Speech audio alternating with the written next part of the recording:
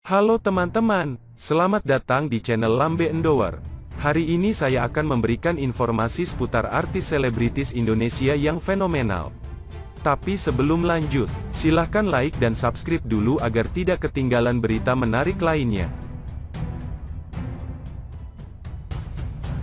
Rizky Bilar telah mengaku menyesal dan menyampaikan permintaan maafnya di depan publik. Diketahui bahwa Rizky Bilar sudah bebas dari tahanan pada Jumat, tanggal 14 Oktober tahun 2022, lalu. Berita terkait kebebasan Muhammad Rizky Bilar dijelaskan oleh kuasa hukumnya, Filipus Sitepu. Dikutip dari YouTube Seleb Oncam News Sabtu, tanggal 15 Oktober tahun 2022. Ia sudah kita sampaikan perdamaian antara Rizky Bilar dan istrinya, Lestiani sebagai pelapor dalam perkara ini juga sudah disampaikan oleh Kapolres Metro Jakarta Selatan bahwa hari ini juga, Jumat, Rizky Bilar ditangguhkan penahannya. Lalu kita telah mengikuti mediasi untuk restoratif justice, keadilan restoratif, terang Filipus Sitepu. Sebelumnya, Rizky Bilar dan Lesti Kejora sudah dipertemukan dan sepakat untuk menyelesaikan masalah ini secara kekeluargaan.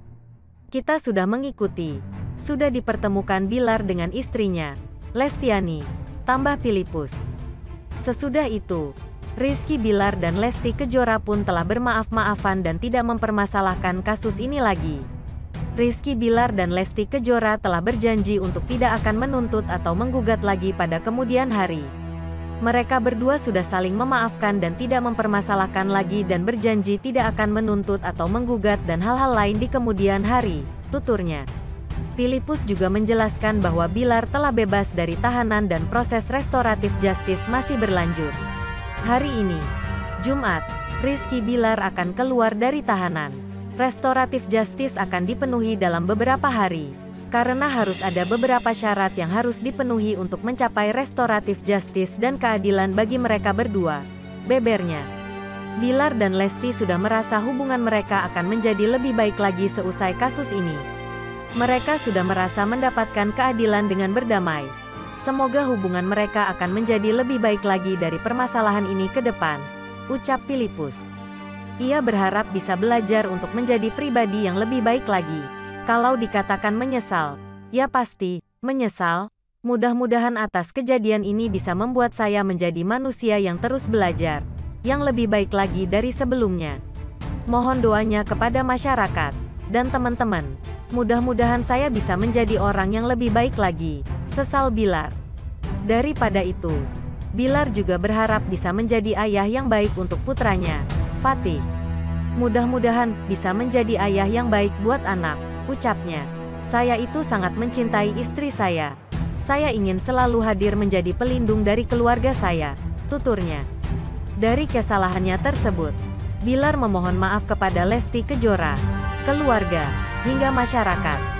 Tapi, sebagai manusia, dari namanya kehilafan, kesalahan, apa pun kesalahan atas kehilafan yang sudah saya lakukan kepada istri, saya ingin meminta maaf sebesar-besarnya kepada istri saya.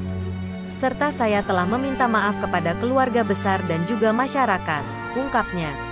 Bilar pun berharap kasus ini bisa menjadi pembelajaran agar menjadi pribadi yang lebih baik lagi.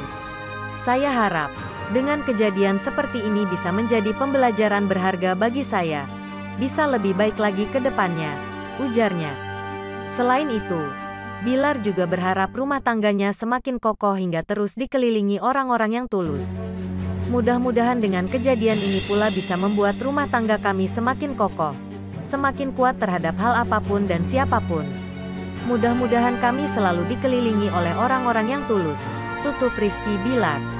Demikian info yang dapat kami sampaikan. Semoga bermanfaat. Terima kasih.